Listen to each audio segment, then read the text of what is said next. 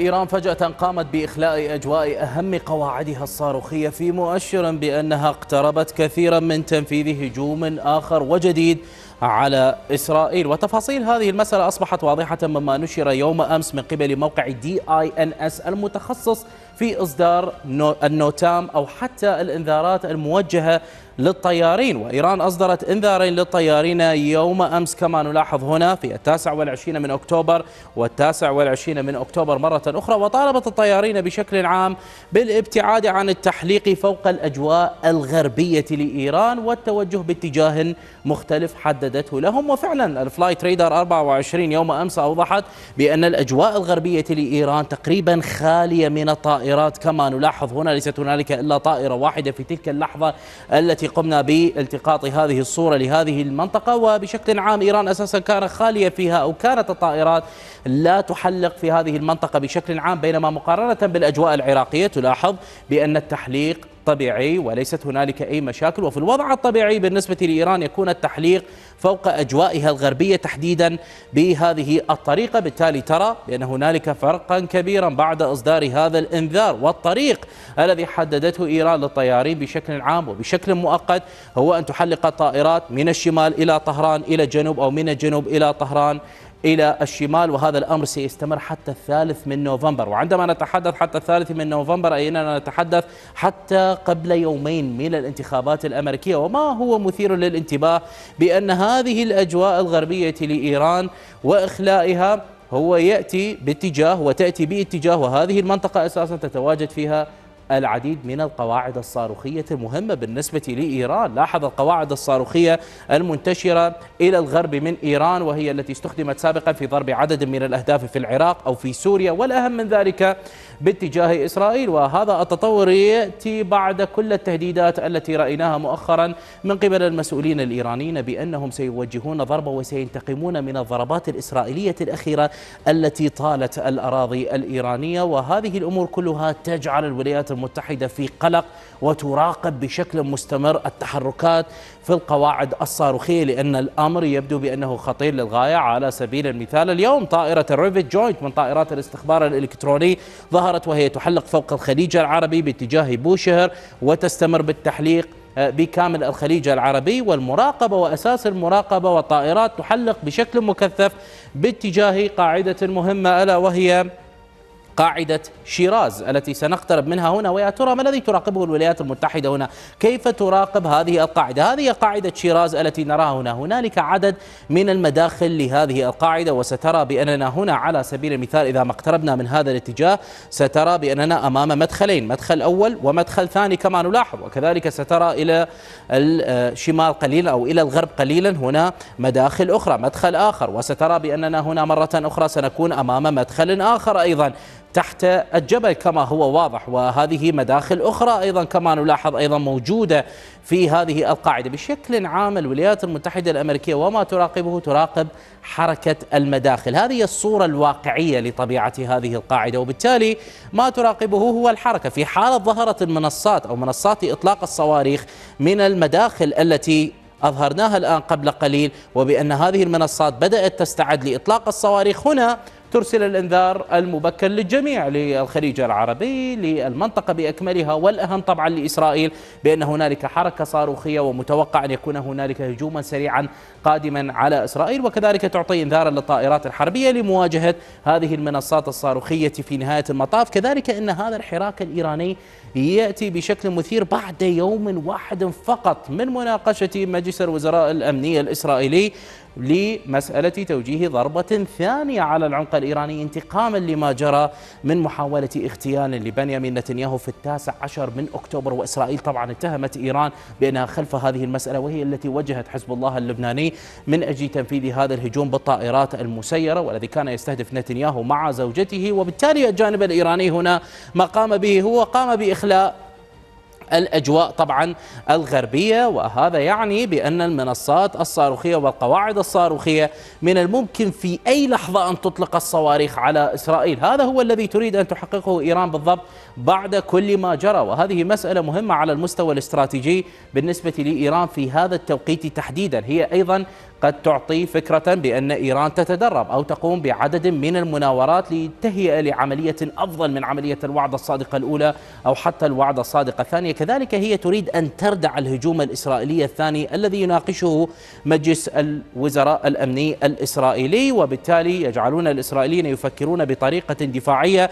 بدلا من أن يفكروا بالطريقة الهجومية. وأن تستعد إسرائيل لهجوم محتمل في أي لحظة قادم من الجانب الإيراني مع إخلاء الأجواء بهذه الطريقة كذلك هو لكسب الوقت بالنسبة للجانب الإيراني. والوقت هنا يأتي على مستويين. المستوى الأول هو من أجل محاولة قدر الإمكان إعادة إصلاح الضرر الذي تحقق من الهجوم الإسرائيلي مؤخرا الذي طال المنظومات الرادارية والمنظومات الدفاعية. الفوكس نيوز الأمريكية كانت قد أكدت بأن كل منظومات الأس 300 قد دمرتها إسرائيل في الضربات الأخيرة. كل الرادارات المهمة تحديدا الموجودة مع الحدود العراقية والموجودة باتجاه طهران من أنظمة الرادار الإنذار المبكر قد دمرتها كذلك إسرائيل. وأصبحت المنشآت النووية والمنشآت النفطية متاحة للجانب الإسرائيلي لمهاجمتها واختراق الأجواء وتنفيذ عمليات كبيرة في الداخل الإيراني. وها هي إسرائيل تفكر بتنفيذ هذه المسألة وبالتالي إيران تريد كسب الوقت جعل إسرائيل تدافع وأن تحاول إصلاح الرادارات والمنظومات الدفاعية بأسرع وقت ممكن وكذلك لكسب الوقت حتى الخامس من نوفمبر. الخامس من نوفمبر هي مسألة مهمة أيضا بالنسبة لإيران وليس فقط للعالم بأكمله وذلك لأنهم لا يريدون أن تكون هنالك أي تطورات عسكرية سريعة قبل الانتخابات أي تطور عسكري ضربة من إسرائيل تجبر إيران على الرد مباشرة قد هذا الأمر يخدم في نهاية المطاف. دونالد ترامب ودونالد ترامب يعتبر سيناريو سيء للغاية على إيران على مستوى الاتفاق النووية المفاعلات النووية وعلى العديد من المستويات حتى الضغط على القدرات النفطية الخاصة بإيران من صادرات وغيرها. وبالتالي الإيرانيون يريدون أن تكون الأمور هادئة حتى تكون هنالك فرصة جيدة لكمالا هاريس لتفوز ليحققوا أو يعطوا فرصة لتحقيق أي اتفاق نووي مع الديمقراطيين وكذلك ليحققوا تقدما نوويا لأن في فترة دونالد ترامب الأمور صعبة على مستوى التقدم النووي واستهداف محتمل بمشاركة إسرائيلية قد يحدث عند إذا ما جمعنا طبعا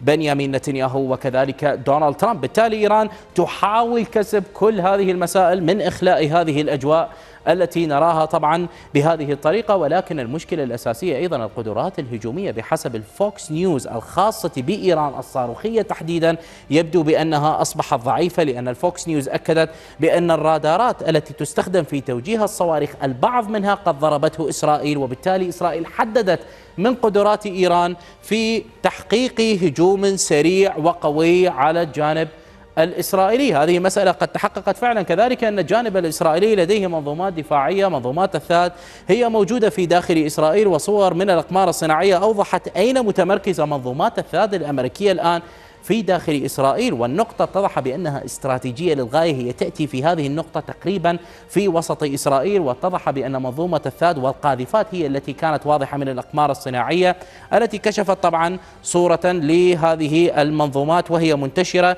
عند الخطين هنا عند الخط الأول هنا والخط الثاني هنا وظهرت ست قاذفات هي الموجودة من ضمن منظومة الثاد التي انتشرت. ولاحظ هذه هي الصورة القادمة من القمر الصناعي التي كشفت هذه البطاريات بهذه الصورة الغير واضحة طبعا والتي أصبحت واضحة بعد ذلك بساعات.